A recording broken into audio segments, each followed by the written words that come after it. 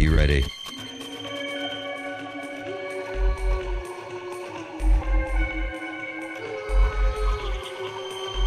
Are you ready? Ready, ready, ready, ready, ready. Hold your nose steady, hold your nose steady, hold your nose steady, and breathe from deep down in your heels. It for a time now, and it isn't that crazy pipe dream in the sky, pipe dream in the sky, pipe dream in the sky. Coming home, coming home, that's what you want. Coming home is what you wanted all the while. Back, back, back to this place where you've always been free. Back to this place where you can't fail to see everybody and everything, everybody and everything is one. One, one. Everybody and everything, everybody and everything is one. One. Everybody and everything, everybody and everything is one. One.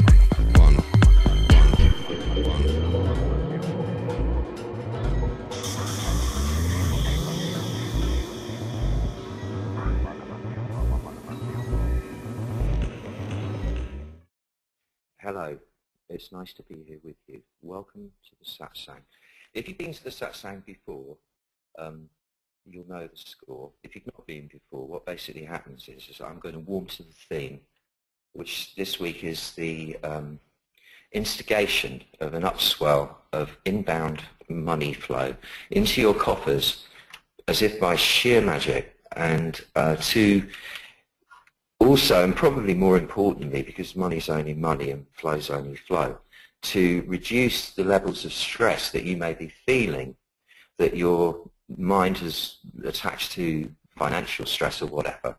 Um, because over stressing yourself prevents enjoying being alive no matter where the drama is going from moment to moment. So really, the subtext of this is let's all relax a little bit more and trust in what we might have called divine providence in the old days.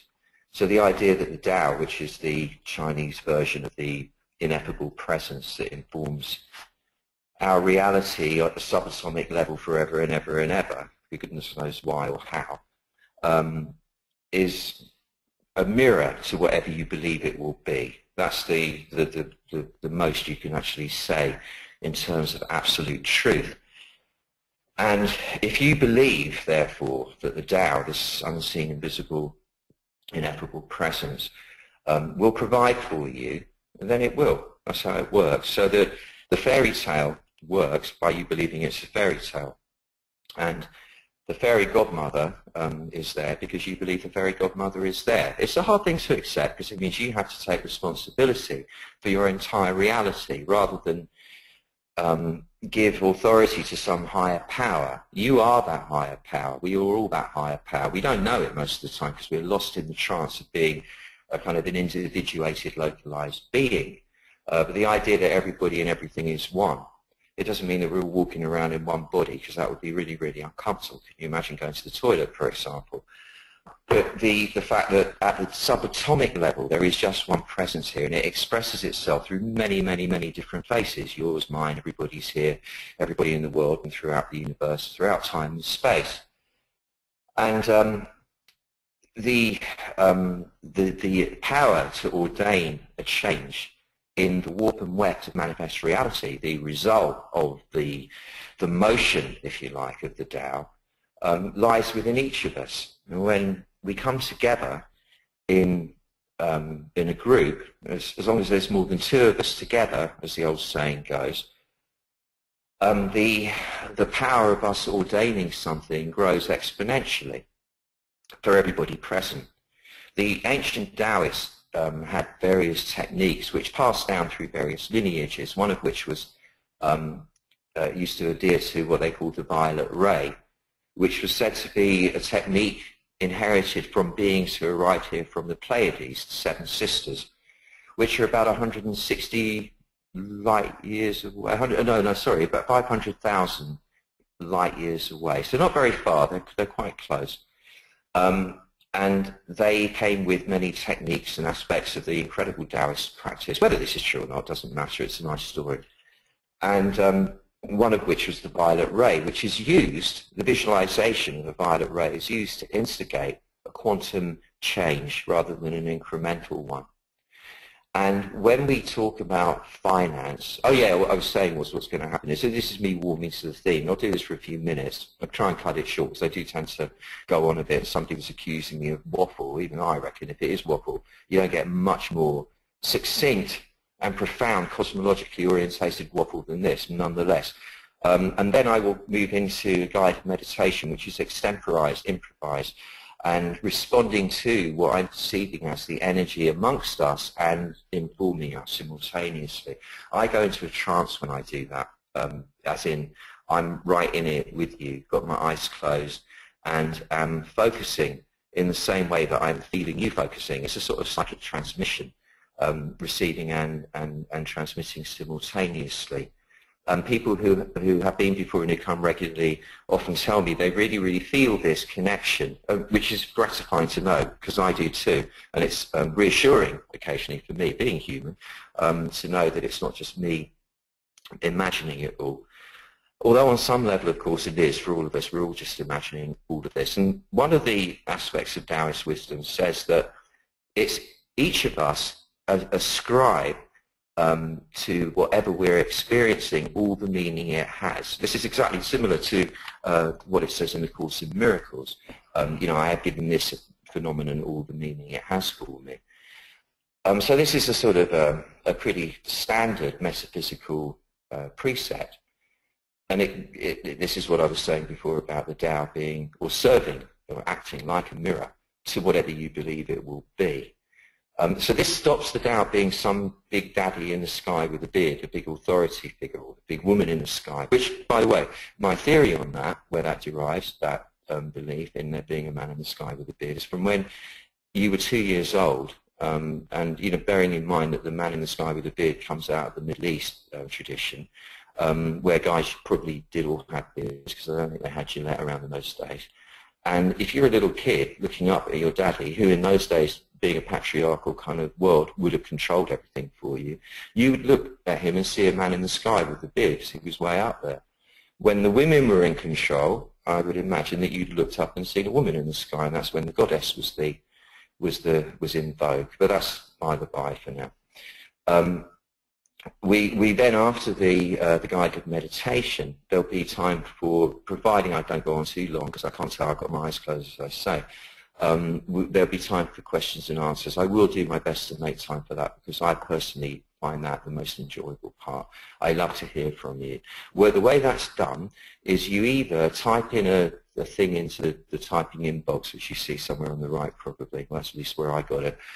Um, the Sue will see those and read them out because I'm not really looking. I don't even know if they come up on my screen, in fact. And um, or there's a thing where you can click a hand and speak live, but you have to have headphones for that. You can't do that if you're just doing it over speakers because you get feedback and then it's horrible. Um, that sometimes works, it sometimes doesn't. It's the vagaries of this platform, which personally I think is absolutely rubbish, but there you go, it's the best one we've got at the moment. So, here we are, and what we're talking about today, um, where we're going to deploy our violet ray, in fact, is the whole concept of money. Now, with the silly season, i.e. this, this uh, Christmas thing coming up, the reason that it has such a powerful sway on us, regardless of whether we believe in Father Christmas or Christmas or anything to do with all of that, predates all of um, the whole Christian thing anyway and goes back to an ancient um, solstice festival. It's been going on for probably at least hundreds of thousands of years, where in the clans uh, allegedly with me from all over and have a proper blowout for five days, which started officially on the 21st, which is the solstice, and ended on Christmas Day, or actually Boxing Day, which would be the one the day after where they all dispersed, feeling a little worse for wear, presumably. And they would bring with them all the meats they had left from the summer hunt, um, which by now would be probably starting to go off or whatever. I don't know what they do for the rest of the time until the weather started getting good again. Maybe fasted, I don't know. And they bring their magic mushrooms and their mead or whatever they used to drink, and they make merry. They light fires all over the place, which is where we get the tradition of lights or, or candles and Christmas trees and so on. Apparently, in fact, they used to do it in the northern climes. They used to do it in the trees. They put fires in the trees or something like that, and that's where we get the Christmas lights from. I don't know. I can't really remember. I get confused with the details. But the reason that the draw is so strong to to come together with your family or to, with, with friends or loved ones or to avoid it altogether, the reason that it's such an issue is because it's so deeply ingrained in our circuitry, way, way more than just the last 2,000 years or so.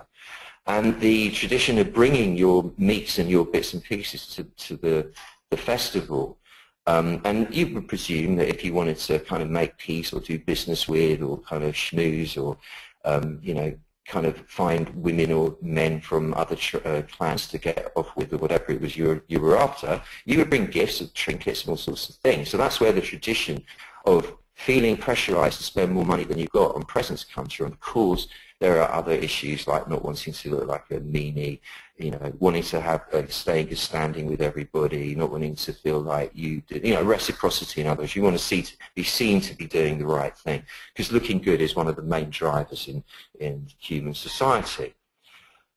And um, so there will be this innate pressure to go out and spend money that you haven't actually got um, uh, on presents that people probably won't even most of the time want. Uh, in other words, completely wasting loads of money. And it's very interesting, isn't it? It's interesting what it does, the things it puts you through. I mean, most people do their present shopping as a sort of a chore. They get it over and done with as early as possible, as efficiently as possible you know, I buy this one for Ronnie, I'll buy that one for Susan, I'll buy this thing for thing. Right, tick that off the list, tick that off the list. There's not a lot of magic in that, you must admit. It's a bit sort of sterile, as is the whole thing. As I say, the reason that we do it is compulsive because it's so deeply ingrained in the system, but it doesn't mean it's compulsory. This is where life starts getting interesting, when you realize there is an option and that you can exercise that option. Then life starts to become rather interesting because you deprogram yourself from the, the social trance. That as may be, we are talking about the flow of money. Now, money is um, something we've all made up. It's developed organically. It wasn't something that anybody contrived at any certain point in time, as far as I know, although it must have been somebody's idea originally, um, as, a, as a medium through which we can exchange our services and our goods, our time and so on, our energy. Um, it was fine before when there was just a few people, bartering their services and goods with each other. But once society grew, it became too complex. So you needed an IOU, you know, like if I'm going to take your wheat from you, but and I can't give you my cows yet because they haven't grown fully or whatever it is, um, I have to write a piece of paper that says IOU for um, corn and wheat, whatever. And that eventually developed into something a bit more sophisticated, and now we have this huge lumbering system that um, keeps the world going and almost brought it to a halt and probably will again before long, what we call the banking system, which as you know came from the, be the, bank, the benches rather, banca, um, the bench in Venice, uh, where, where the money lenders used to sit, that used to finance the expeditions, like Columbus's expedition to America, which I guess was one of the more profitable of any maritime expeditions in history. Um, so money is essentially a symbol of energy when you boil it down. Now energy flows in a current just like electricity does and hence why we call it currency. And it isn't a material um, phenomenon at all in fact. It is completely imaginary. As we know, I mean we found out that people are, I mean I think the current level of money in the world has been worked out by Credit Suisse. I know this is a bit out of date. This is about a year old. Something like 215 trillion um, dollars this is interesting. I don't know how they work that out, how, much wealth there is in the world. The 90-something percent of that is owned by 66 people. That's also very, very interesting too.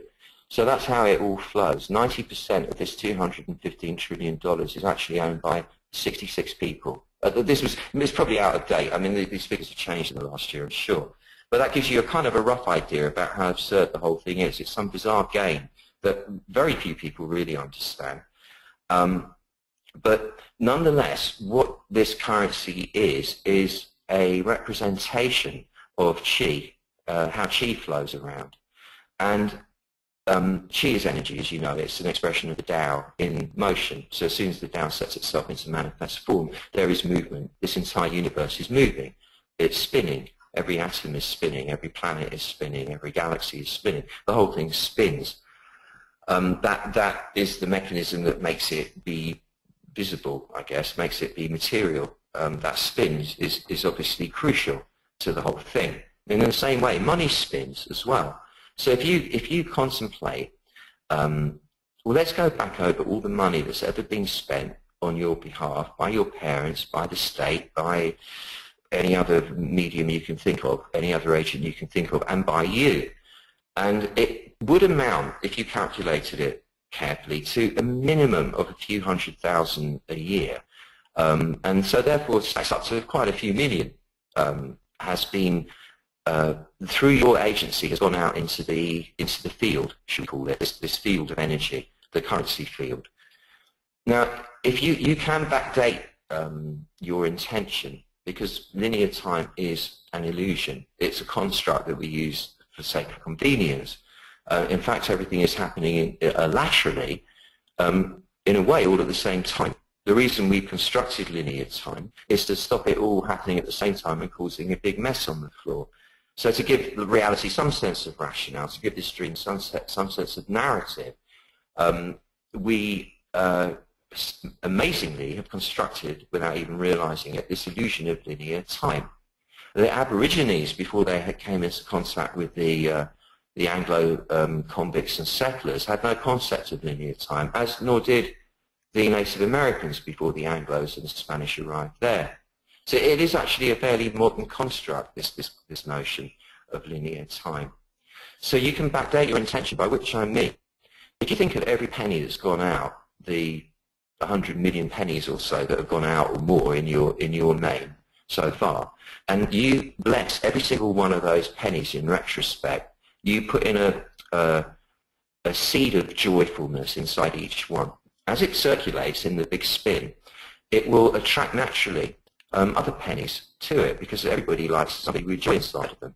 And eventually, all things come back around because the whole thing operates in circles. And all that money comes back to you just when you need it. This is all being well, of course, and this is if you are willing to subscribe to this model, then the Tao will operate like this for you.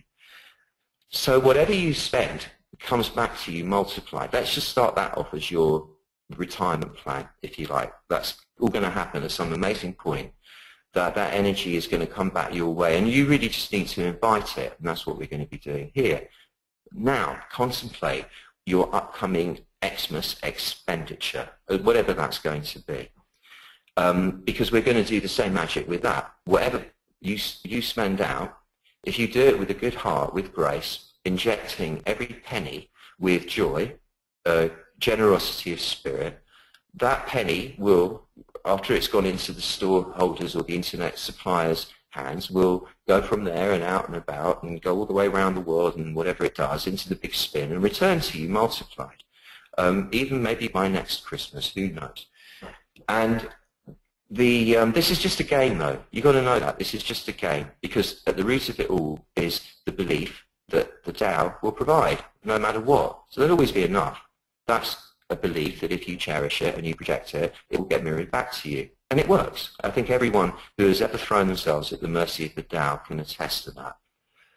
Um, but before we do that, it's really important to know that as much as it really looks like you really have to do it, you really don't have to do anything to please others that you don't feel like doing.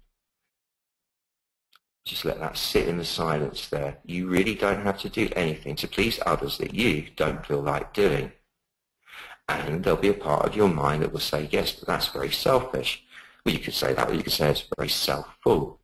Um, my dead friend Frank, who was probably the wisest person I'd ever encountered, um, was one of the most generous, loving people that I, I'd ever known and he really loved his son, and he loved those close to him. He never bought his son a Christmas present or a birthday present, for example, just he just didn't feel it. But he'd just suddenly give him the most amazing gifts out of the blue, uh, for no reason apparently whatsoever.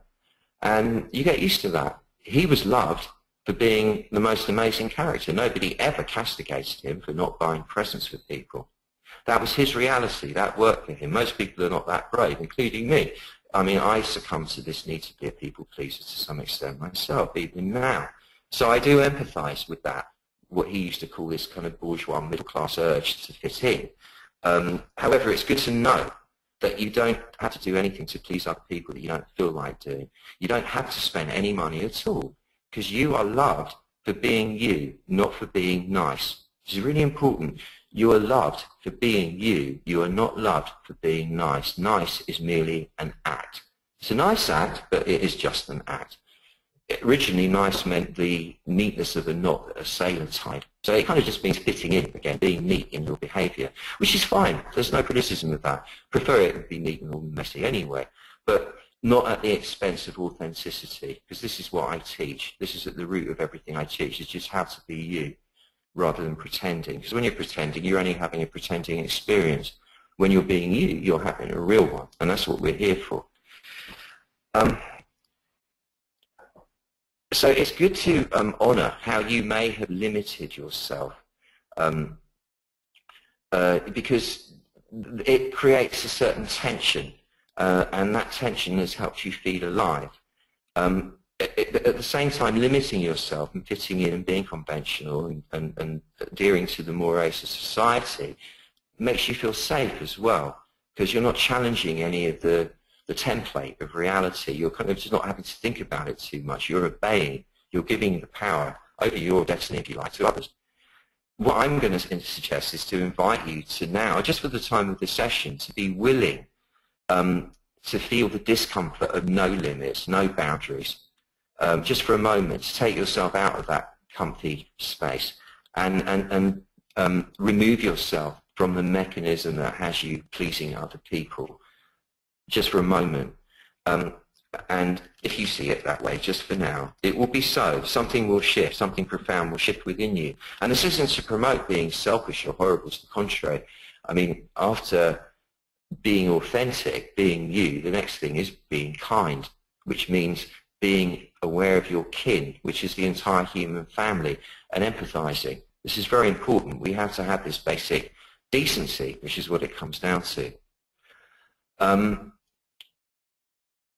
so you are loved for being you, not for being nice. When you roll with the flow, i.e. following your chi rather than trying to please or fit in, the flow will support you. When you're trying to fit in, um, there isn't much flow. You're not rolling with the flow then. You're jarring it. And the flow won't support you in this magical way, at least. I mean, you'll be able to forge your path and you know sort it all out quite lightly. But you won't be able to do it in this magical way where you throw yourself at the mercy of the Tao and let it support you. For that, you have to follow your chi rather than the, the need to fit in or be nice. Um, this, uh, as I say, this this almost instinctual need to spend and quite usually overspend um, it is partly then to uphold reciprocity, which is a beautiful thing. Reciprocity is one of the main mechanisms that hold society together. And there is a great dearth of an understanding or sensibility towards reciprocity. People are trying to rip each other off more and more as things get more and more competitive as the resources run out faster and faster. But therefore it's even more important to have the integrity to maintain reciprocity, uh, to be more mindful of being uh, reciprocal now. Um, but the driver for most of the spending, as I say, is really more to not piss people off who might be offended not to receive a gift or to receive a substandard one or an inferior one in return for the one they, they've given you. Um, and as I say, partly because the Solstice Festival, into which Christmas was eventually uh, kind of shunted, um, is so ancient, it's almost biological. Um, that, that, that, because they all had to bring whatever they had to the feast, that's what you feel you must do. But we are not ancient solstice festival goers anymore. Uh, most of us, as I say, are not even subscribers to the Coca-Cola version of Christmas, because you know that's where the modern Christmas comes from, don't you? The Father Christmas thing with the red and the, all the reindeers flying through the sky. That comes from Coca-Cola ad in, when was it, 1930 or something? Um, so think about that. We're really talking about Coca-Cola mass. Um, and, and some of us don't live in any myth at all, amazingly. Some of us actually eschewed the whole level of myth altogether, other than perhaps the ancient, ancient, ancient ones. Um, so let us first divest ourselves of all the invisible strings uh, connecting us to myths of all sorts. Let's be that daring for the sake of this session. Um, and let us also divest ourselves of the entire drama of money or no money, being rich or being poor. Let's just let go of that whole story just for a moment. And let me explain something, the, the, the basis about how this meditation is, or the basis for this meditation. We create and sustain all myths in the forebrain, uh, the, the, the, prefrontal lobes. That's where the, the, the, um, manufacturing and sustaining of myths occurs. It's in the forebrain. This is supported, it also triggers emotions in the upper belly area, the solar plexus. Um, the drama of feeling yourself in the world um, according to the myth you're subscribing to at the time, therefore goes on in the front of your body and the front of your head. Because the sense organs all face forwards, you perceive this drama, the drama of your life, which is actually something you're concocting in the forebrain, as going on out in front of you, uh, outside of you, in front of you, even though it's actually going on in your forebrain. And what that does is it, because it's so compelling and riveting and fascinating, it draws you into the front of your body to get closer to it. However, if you learn to drop back inside the body all the way into your back, the drama and all the energy associated with it drops away instantaneously. And then rather than be caught in the usual, what I call micro perspective, in which um, say, not buying a gift if you were going for some Christmas do uh, would seem like the biggest evil in the world, you know, some major tragedy. Um, rather than be lost in that whole conundrum, you, from the back of you, enjoy a macro perspective in which you see that it actually ultimately doesn't matter at all. And then you relax because you've got perspective. And when you relax, when you empty yourself of the drama you create a space, a vacuum.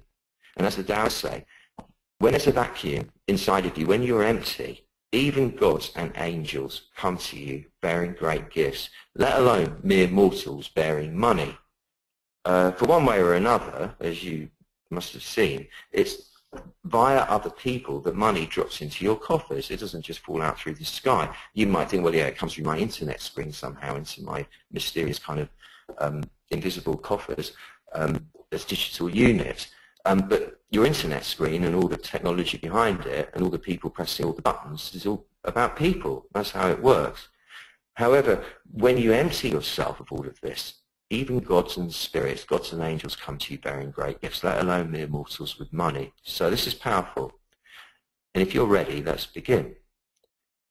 Um, close your eyes and allow all your energy to sink all the energy in the brain, all the energy in the throat, all the energy in the chest, all the energy in the upper belly, let it sink down into the lower abdominal area, where it's held in the bowl that's created by your pelvic bones and your pelvic floor. So you're now sitting a bit like a weighted doll, one of those Daruma wobbly dolls. So if somebody pushed you over to the left, you just circle and swing back upright again. You're grounded, in other words, grounded in a fluid way. Then become aware of your spine because your spine is the central strut of your whole physical presence. And rather than it being crumpled and, and compacted, get a sense of it elongating like a snake being charmed out of its basket. Feel the crown of your head urge itself upwards towards the ceiling. I'm assuming that you're sitting or standing. Lying down is really not that great for meditation because it induces slothfulness. What we need to be is alert while we relax here. So you feel the crown of your head urging itself up towards the ceiling, which causes your chin to drop slightly towards your chest. And you'll notice that this has the effect of lengthening your spine. Not just at the back of the neck, though, all the way down to your coccyx at the tip of the spine, and from there all the way up to the crown of the head. You can now afford to drop your shoulders, and as you drop your shoulders, consciously feel that you're actually dropping the burden of the story you've been telling yourself, your life story. And all those thoughts and beliefs and opinions and prejudices, just drop them as you drop your shoulders. Let your shoulders broaden out, because you don't have to have them up around your ears anymore. Very subtly, without arching your back in the slightest, just lift your breastbone a fraction of a millimeter upwards and forwards a bit and that opens the chest up and gives you a kingly or queenly air about you. It makes you regal and dignified. Dignified means literally upright. With the physical frame now subtly expanded, soften all the muscles, which are like the, the ropes of a, of a flagpole.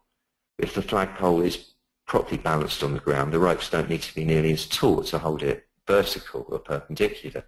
So allow your muscles to soften from your face down through your neck, your throat, the back of your head, of course, your shoulders, down your arms, down your sides, down your chest, your belly, into your groin, through your back, down to your buttocks, through your pelvic floor, down through your legs, to your feet, to your toes. Every single part of you, where there is any soft tissue of any sort, just let it actually be soft tissue rather than rigid and, and calcified. You just give the command, soften up, soften up. Um, to aid this process along, stop holding your breath and allow the breathing to flow with regularity and evenness and smoothness slowly and silently and like silk being reeled from a cocoon. Valuing the breath as the elixir of life itself, not taking it for granted. Offering the out-breath as a sacrifice to the Tao and taking the in-breath in as a gift from the Tao, receiving it with full gratitude. This is life itself. And um, feel immediately as the breath has slowed down how your mind has slowed down, the worrying in the brain has slowed right down and become much quieter as the breath has become quieter.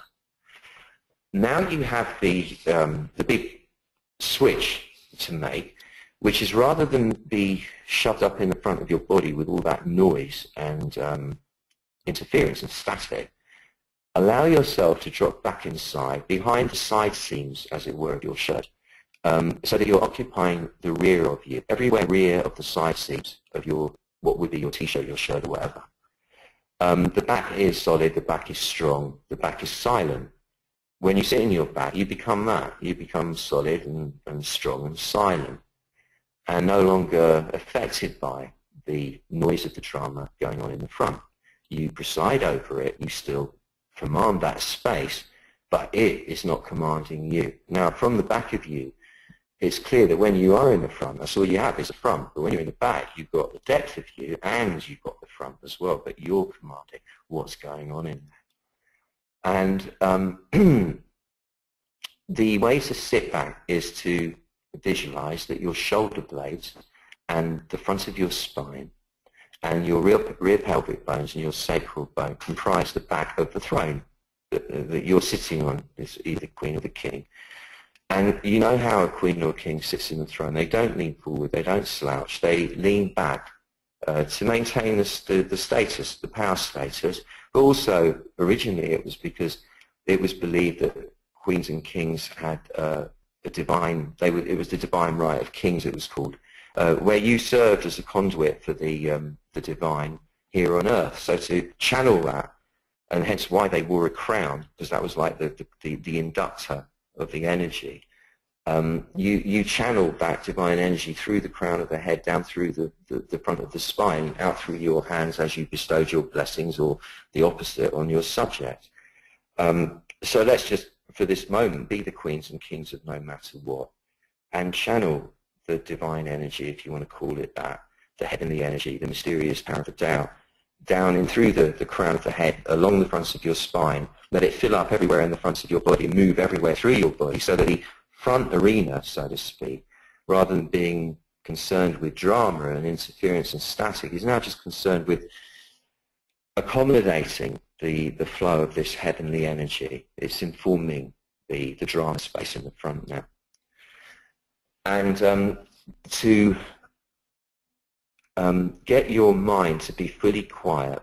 If you visualize, now this is a separate kind of image, that the, the, the skull is like a cave in the mountains high up, like a sacred cave, and it has a floor in it. And if you just very, very subtly, just not even a fraction of a millimeter, tilt your head back and feel as if your mind is now being obliged to slide backwards along the floor into the back of the skull, where it rests up with its rests up with its back against the rear wall of the skull, like it's leaning back into the rear wall of the cave.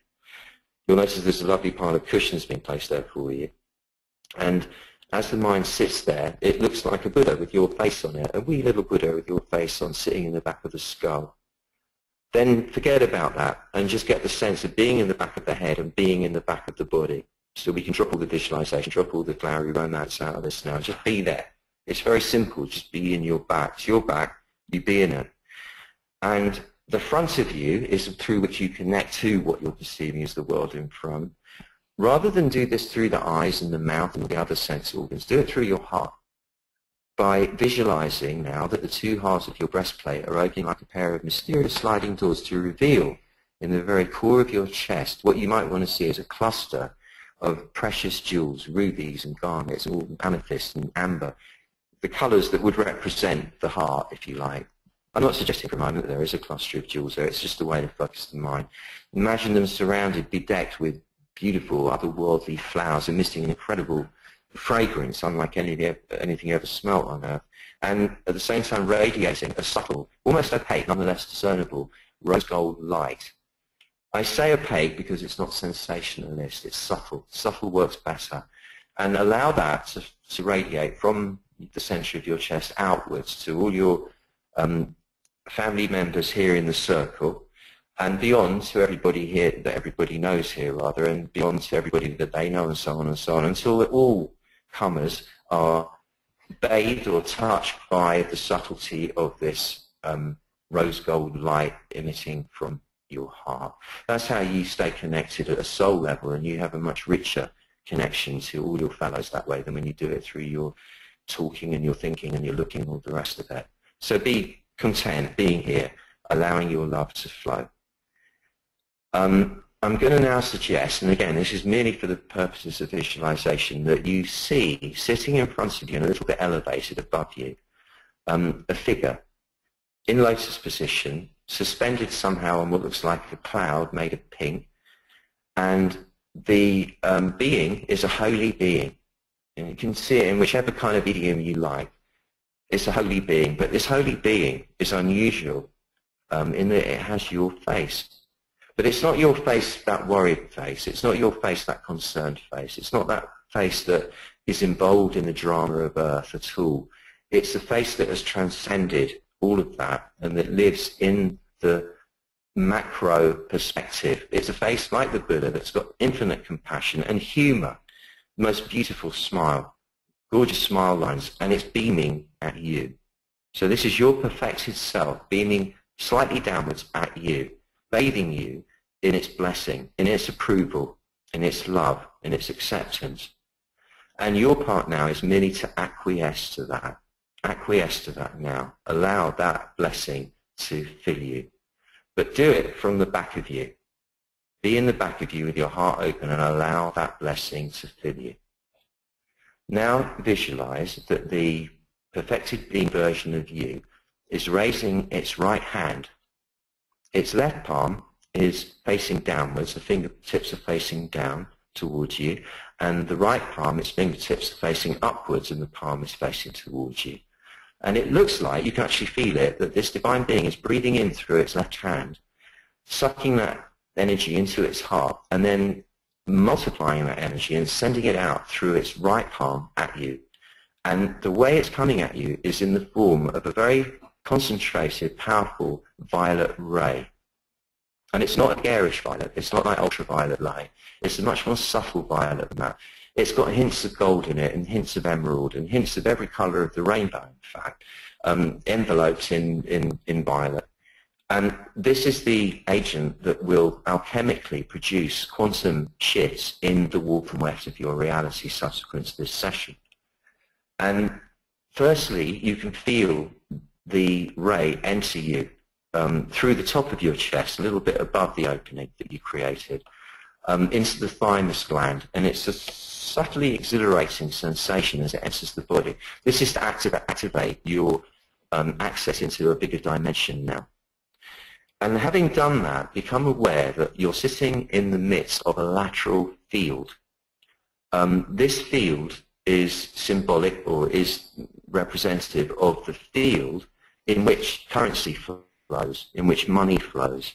So right now, as I said, there's something like somewhere over 200 trillion dollars in this field, um, most of it in the hands of about 66 people. And you are merely about to invite a, humble, ungreedy, but ample measure of that to enter the field and circulate around you. bearing in mind that everyone in the circle is going to be doing exactly the same. So you're not being selfish here, you're just partaking of a group activity and it's not something that isn't yours. This is the money that is the money coming back your way anyway from all that was spent and all that you're about to spend. Um, it's gathered friends as it's been circulating and is now coming back your way, as is your entitlement and um, your right to receive.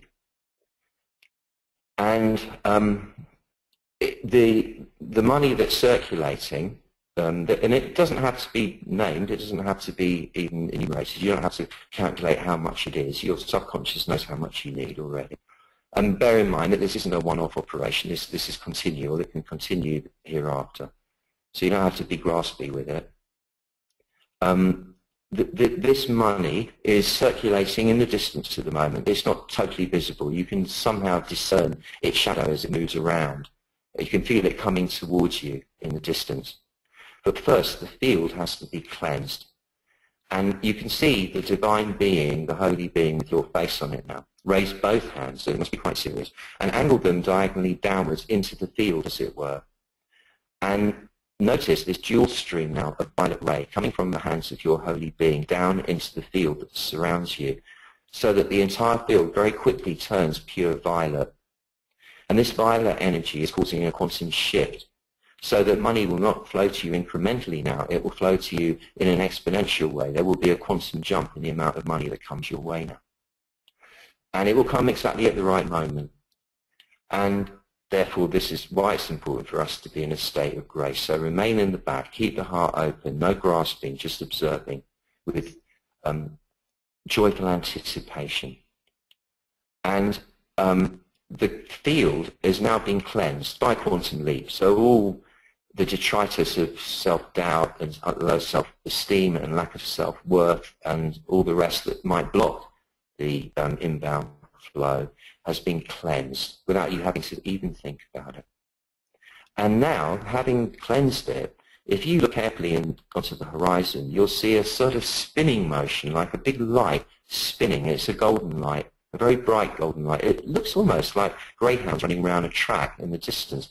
And as you focus on it, it comes closer, like the circle closes in. Before you know it, what you're actually looking at is what looks like a tidal wave of gold wealth, material wealth, money, um, surrounding you on all sides, coming closer and closer, to the point that it's actually a little bit scary because it's so high, probably 300 meters high, this tidal wave, a proper tsunami of golden money energy coming at you, not just from the front now, but coming at you from every single direction, 360 degrees. So you have to be ready to withstand the incoming force now because this is going to hit you. It's going to be something quite visceral. This isn't that gentle. It's going to be strong now because remember, it's a quantum leap. And this is building, and you can feel it. It's building and building, and it's getting stronger and stronger, and it seems to be coming faster and faster, threatening to completely engulf you. So prepare yourself now, empty yourself totally, sit right in your back where you have invincible strength and stability and nothing can throw you there. Let your front be completely empty so that there is no resistance, otherwise there is pain. So you have to be completely empty now, ready to receive this. And when you're ready, because you do have a part to play in it, give the command, which is, okay, come in. And as soon as you give the command, the wave now washes into you from every direction with full force and fills the space. It almost takes your breath away but it's a beautiful feeling. It's a feeling of huge exhilaration. And it's filled with zillions of money. So see yourself receiving it now. Feel yourself receiving it and feel yourself loving it. Love the feeling you're entitled to. Love the feeling of this money washing into your circuit now. And love the feeling of having an endless supply of it to do whatever you want with, whenever you want to do it, without limit. Feel your spirit rolling in it now. Feel your spirit swimming in it and just keep dropping back inside and dropping the drama dropping the need for that stress that you were feeling to make you feel alive. Right now, be willing to feel even more alive by having no stress. And at the same time, because this is not just a selfish pursuit, see money in the same way flowing freely now for everyone on earth. See it flowing throughout the field, the collective field, for everyone. So this is not selfish. Be generous with your intention and see this golden energy flowing freely for everyone now because the more freely it flows for everyone, the happier everyone will be and therefore the happier everyone will be. And that's what we want because that makes us happy too. The flow needs to be everywhere to benefit everyone. So see it there, feel it there, feel it within you. And now all you have to do to make this magic real is with all your heart and soul and might say, I accept it. Say it three times. I accept it. I accept it. I accept it.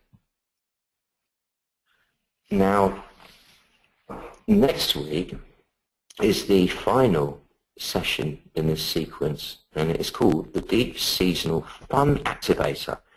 It's a grumpy git factor reductive process. So for any part of you that would play the grumpy git in the face of the seasonal fun and frivolity, this is to divest you of that propensity and let you and get you set up to be a font of seasonal fun for yourself and everyone. I'm not talking about frivolous nonsense. I'm talking about the deep joy, the fun of being alive in this magnificent theatre that we call life on earth. So in your own time, wriggle your fingers and wriggle your toes, wriggle your ears and wriggle your nose, open your eyelids, come back into the so-called everyday waking state, and it's time to ask your questions. Don't be shy, because I'm really in a question answering mood. Okay. Hello. Mm. Hi. Okay, Mark has a question, Stephen. I'm just opening up the line mm. to him now. Hi, Mark. Hi, Sue. Hi, Doc. Hey, Mark. Uh, my question is, uh, I have a friend who needs this money activator. What's the best way to help her get um, the money energy flowing towards her? Um, is she somebody that you uh, could talk to about all this, or is she somebody that you'd have to do magic for without her knowing? Yeah, I can talk to her about this, yeah. Because, I mean, it might be that you could um, explain to her what we did here, like describe that picture of there being a lateral field all around her. Um, yeah. And the, money is just a symbol of energy. It's not a solid thing that we tend to think it is. It's an imaginary force that we've all created. So it's quite malleable. And mm-hmm. that you, you are going to act. You're going to tell her you're going to do some magic with her. And it's just like play acting, because magic is play acting. And you're, you're going to yeah. direct a flow of wealth energy at her. You can do it over the phone. You can do it in person or whatever with your concentration, and you're going to tell her to go into the back of her body, open up her chest, and be ready to receive. Then you tell her that you're transmitting a beam of violet light that contains within it a deep golden core, and that that's going to go bang into her chest. And when it does that, it's going to activate her wealth magnet. And then all she has to do then is to keep visualizing this golden light wrapped in violet inside her chest and money will start flowing her way in the next two or three days. And it will work. Funny enough, Mark, I just picked up a newspaper, a business pages of some, one of the broadsheets. It's, uh, it's right here, it said, it's official, you really will be better off. so, um, I, mean, I mean, yeah, this is, you know, you understand this magic. It's not, mm-hmm, not yeah. talking about um, absolute truth. There is none in this in this manifest world. If we see it one way and we see it with enough clarity, and we have someone else as our witness when we're seeing it, um, we will manifest that. That's how the magic works. Yeah, that's tremendous. Thanks. I'll give that a bash with her. Oh, good. Thank you. Yeah. Thanks, Mark. Thanks. Okay, Bernard uh, says, despite decades of spiritual practice, I have a strong resistance now to relaxation and going deep. How can I get past it? Bernard, that's a very, very good question. I, I mean, I think the way we describe ourselves is interesting because I bet you that there are moments when you don't have that strong resistance. It's there's something that's probably the most dramatic part of the, of the uh, spectrum. Uh, so it's the one that you're noticing more of the time. But there are bound to be cycles, and there are going to be moments where your resistance is not as um, great to feeling relaxed. And the probability is that at some point along the way you got disappointed in in things not moving as you felt they should do, perhaps got angry with the whole notion of, um, should we call this this metaphysical uh, way of operating, and, and therefore went into resistance towards it. I do it myself. I think everybody does. And I think it's healthy to have an air of cynicism about anything that we do, because when we get too poke-faced about anything, it just becomes well, it becomes creepy for a start. Um, and, and so really, I think what I'm saying is honour that resistance, Bernard. It's good to see it and go, yeah, yeah, I want to be resistant. Don't think you're wrong to be resistant. And I want to be resistant because this makes me feel alive. And then while you're declaring that to yourself, so they're making it okay to be as you are, because it's silly to not be okay being as you are, drop back inside into the back part of you and notice that that whole setup of being in resistance to it is really just part of the description that you're, you've made, and that description and the whole story that surrounds it is occurring in the front of you.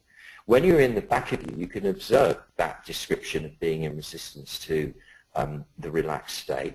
And you can then make a choice. You can say, okay, well, I have all this, and I know how to do that, so I don't have to worry about losing that technique, that resisting technique. I also have the option of letting go and seeing how that feels. And I, I may well do that at some point. I might even take myself by surprise and just find myself doing it spontaneously. Well, I'm open to that as, as an experiment. Okay, fine. And that's all you really have to do. And then I think you'll find that your deeper self will provide instances of you feeling suddenly, spontaneously, really relaxed and thinking, hmm, this is nice. I mean, it happens to me a lot when I'm in Ibiza driving along because it's a very stressy island, even in the, well, especially in the deep countryside there's an energy in the ground that just won't let you rest. It makes you create constantly. You've got to make music. You've got to write stuff. You've just got to do things. And it's stressy, um, and everyone feels it. It's not peculiar to me. And there are moments when I'd be driving along or walking along and suddenly go, oh man, I just feel so relaxed. Oh, that's nice. And, and I, I'm thinking about that, those spontaneous moments where you just suddenly stop and go, oh, oh, it's beautiful being alive. And then if it's just for that long, and then you can go back into your stress again, that's thing I think is what I would suggest. Nothing too dramatic. It's little tiny openings into the realm of endorphins as opposed to cortisol, stress hormone, um, and see how that feels. The body will latch onto it fast is what I reckon. Joe says, uh, how do I stay strong when I feel scrutinised by the world for not being good enough? Joe, well, you just said it bang on. I mean, this is the problem that is affecting everybody, and especially the young generation. Um, how do you stay strong when you feel that you're being scrutinized and somehow because you're not good enough, i.e. you're not looking good enough, you're not looking like you're performing well enough, you're, you're not looking like you're up to it properly. Firstly, bear in mind that everybody is feeling that stress the more narcissistic our society becomes, the greater the pressure to look great becomes. The more airbrushed everybody looks, in other words, the more perfect everybody's trying to be, um, the, the, the, more the pressure becomes. Uh, the more camera lenses that are focused on us and you know, surveillance uh, methods that are directed at us, the more we unconsciously, if nothing else, feel that we are being scrutinized. And the fact is, is that the, area of reality where that scrutiny is occurring or the perception of it is occurring and where the sense of needing to uh, live up to a certain standard, where all of that conundrum is occurring, that is in the front of the body. It's a constructed, confected piece of theatre um, that we collectively collude in, um, upholding, but is in fact nothing more than an illusion. When you drop back into the back of you, it's clear to see that, that all of that is just a game that you're free to play or not play as you wish. Rather than trying to resolve it in the front and thinking, I don't have to be looking good, I can be myself and all that stuff. Just be yourself by dropping back inside and then you notice immediately that all that stuff isn't real. Then interestingly, you start to perform a lot better because you're coming from the depth of your power and then you look better and then you stop worrying about being scrutinized because you're doing it like you feel like you could be doing it. In other words, you start reaching your potential. This is um, a technique, this, this backdrop is a technique that comes from the martial arts. When you are in your back, when you're in a fight, you punch or kick or block or whatever you do from your back. It's got your whole body weight behind it. So it has a hell of a lot more power, as well as which you stop being scared when you're in your back because you, you're still and silent in there. You're not associated with all the noise of the front. And um, the, the, the interesting thing is, is that when you go into your back in a contest or a fight or whatever, you perform 10 times better. You know, you, you really, that's when the magic takes over and all the training kicks in and you're able to perform your moves like a proper master. And the same goes for any activity in life and in general. The more you sit in your back with an open heart, carrying the intention to perform to your full potential at all times, that's what you'll get. So really that's the answer. Be in your back and it, all the rest will follow. Okay. I've got a couple more questions in. Just bear with me um, because Claire has okay. added some additional information to hers. So I'm just reading this through as it's come in. Uh, Claire says, mm. thank you, Barefoot Doctor. Great satsang. I feel its power. I'm feeling extremely emotional constantly at the moment, not sure which way to turn in my life. It feels very confusing with all areas of life feeling like a massive struggle. I strongly feel that if you change the inside, i.e. working through your problems, blocks, demons, etc., and really having worked on forgiveness where necessary, I'm angry at why I still feel my life is still just an existence rather rather than alive. I feel like I've tried for over 10 years and I'm still not getting anywhere fast from a rather frustrated Claire.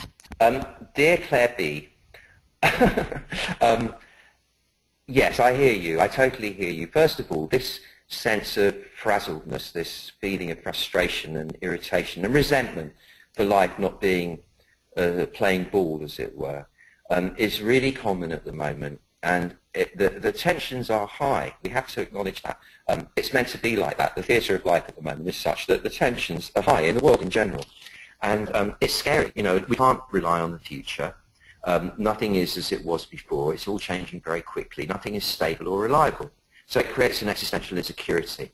Meanwhile, in the midst of this angst-ridden state, we're taking on these deep, ancient metaphysical methods for attaining the enlightened state in the midst of it all, of which we get glimpses, um, but even with lots of practice on a daily basis, um, oftentimes that's all it is, it's just glimpses, because the power of the illusion of the external world is so strong, especially because it's so uh, intense and intensifying more all the time.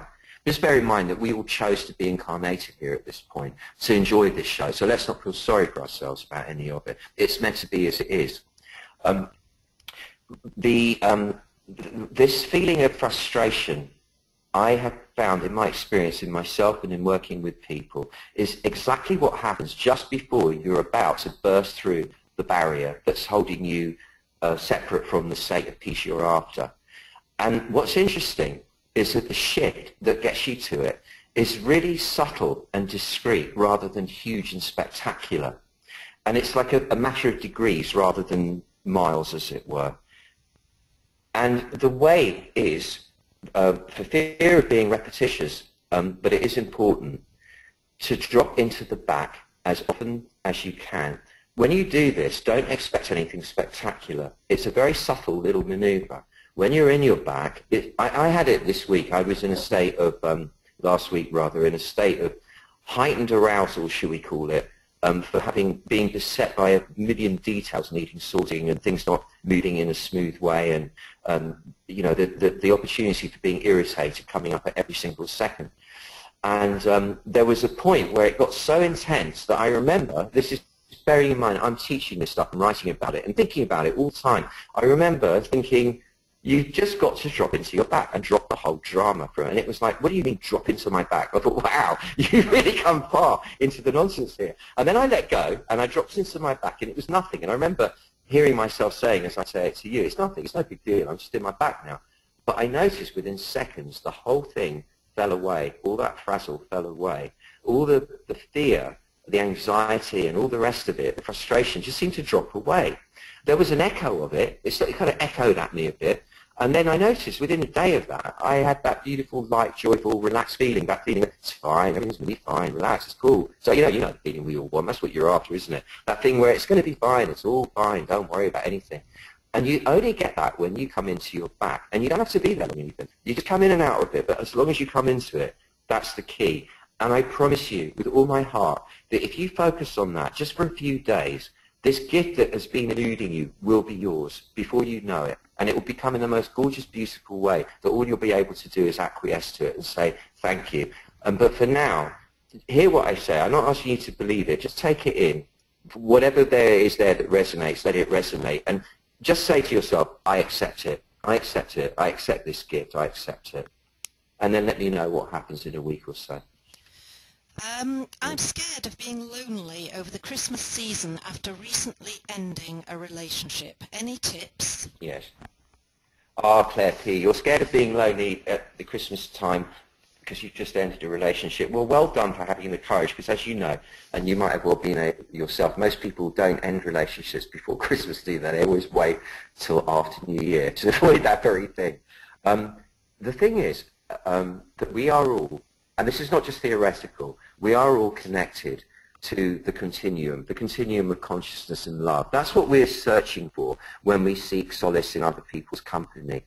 We're not really wanting to get away from our real selves. We're trying to get away from the noise of our front self, this drama that we've created in the front of our bodies, because it's unpleasant, and we want to escape it. So we hang out with other people because it, it somehow cancels it out for a little while. Not long usually. It returns and then it multiplies because we both start talking about our dramas. But that's what we're trying to get away from. Now, when you sink into the back part of you with an open heart and just attune your awareness to the infinite presence that informs and connects and animates everything and everyone throughout time and space, there's a sense of that it is impossible to be lonely. You are one with it. Now, the front part feels awkward because it's not doing what everybody else is doing. You feel like a loser. You know, what's wrong with me? Why am I somebody you've got nobody to hang out with on the solstice, which is what we're really talking about, where people have come together for probably millions of years um, in the same way, and I'm some kind of lemon that can't get that one going. I must be in, in deficit in some way. But to the contrary, you are instead choose to be a woman of power, and you are holding that power strongly from the back of you, connected to all that is, impossible to be alone and impossible to be lonely. And then you transmit your love to everyone in the world um, as a gift to them. By doing that, it cancels out all sense of alienation and isolation. You might have to do it once every 10 minutes, um, a few times before the feeling subsides. And what you'll find is there'll be somebody will phone you or come around and see you or invite you somewhere just when you weren't expecting it and you will feel you will be blessed. You will have your gift of companionship. Um, whether it happens in, in, in the flesh or it, or it happens just in your spirit, there will be the sense of being companioned, not just by one, but by everybody in a way. And when you cast your love out to the world as a gift, what you'll notice as well is that all the people that you feel that you should be like, who've got all their people to hang out with, most of them are suffering a lot and finding the whole thing rather awkward. So really, you're in a beautiful position that you don't have to deal with all that stuff. And again, it comes back to your friendship with Big Claire P, with the big Tao of Claire. That's the real relationship here. And I know it's scary. Of course it's scary. Everybody has that fear. Of course they do.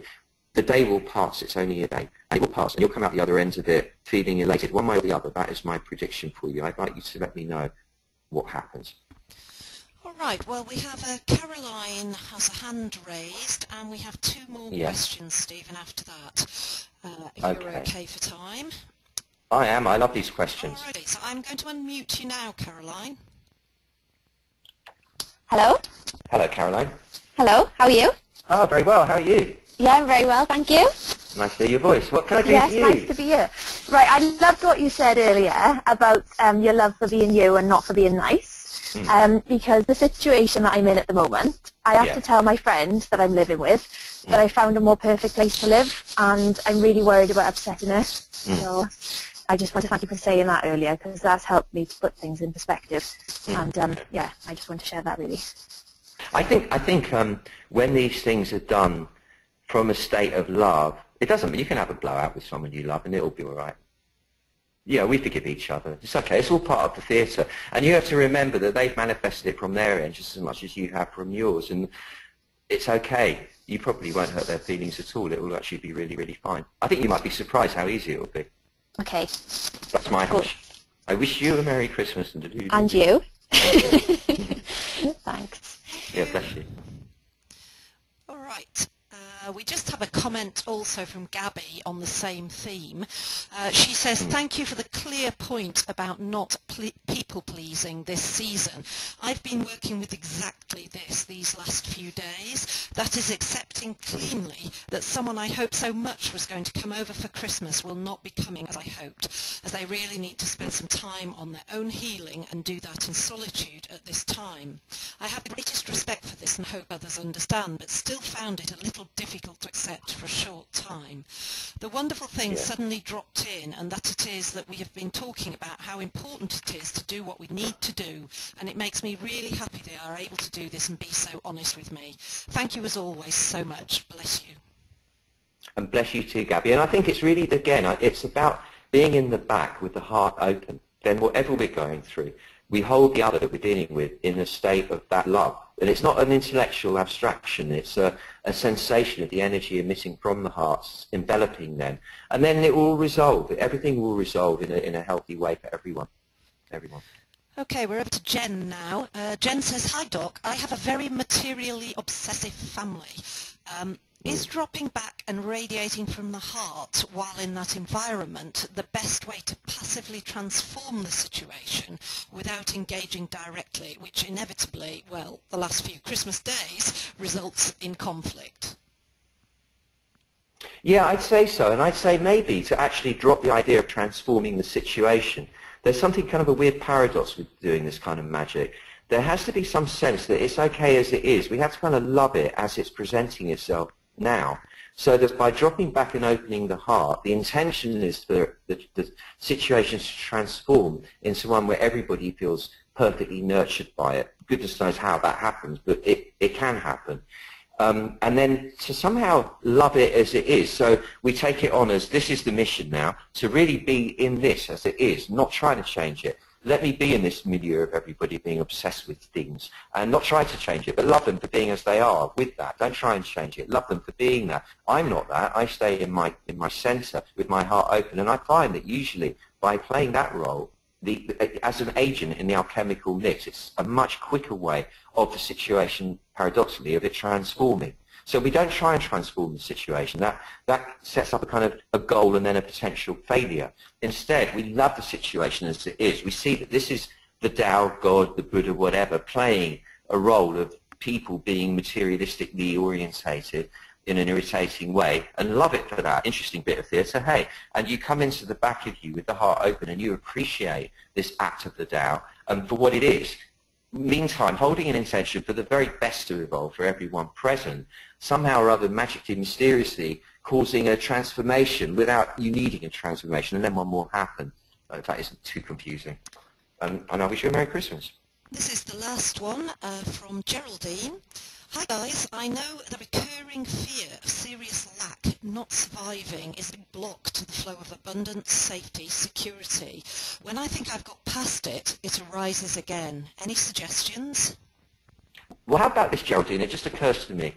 We assume that, okay, like we're assuming that, um, that if we have a block, uh, sorry, that if we go into anxiety about survival, and I know because I get tempted that way constantly, um, and it really feels real, doesn't it? It's like, oh, it's all going to go wrong. Oh, shit, oh, I've done it all wrong, and this is it. It's just a downward spiral now to the end, and oh, I blew it, didn't I? Jesus, and all the stuff I know, and I still didn't get it right, and all of that stuff that we can get into and think to ourselves, well, right, that's blocking it, isn't it? Every time I do that, it's going to block the flow, so that's why it's all messing up. How about let's assuming, no, that when I do that, actually, strangely enough, that's going to work as the mechanism that's going to increase the flow.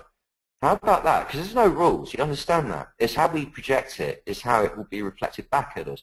So let's imagine now that every time you or I get stressed out about not having enough money, every time we go into a whole horror movie about what's going to happen if we don't have any money, let's imagine that, weirdly enough, that's the thing that's going to make the money flow. It's not an intellectual connection. It's something even weirder than that. That's what's going to make it work. So you can just tell yourself that. It's okay for me to get stressed out and anxious about money because that actually is going to make it come faster, weirdly enough, at this point in time. Try that as a magic trick. I believe you'll find it will work. Anyway, there's nothing going to stop the power of this, what we've done today. It was really strong. and it's going to be lovely watching it wash in for all of us. Really, I want to hear from you. Well, come next week and let's talk about it at the end of the next session. The deep seasonal fun activator. It's going to be fun, everybody. Grumpy get factor reductive process. I know I need that because I really get to be grumpy get a lot of the time. It's going to be fun. Let's, let's do it. It's been beautiful having you here. Thank you, Sue. Thank you, everybody. And see you next week. Pip it for now.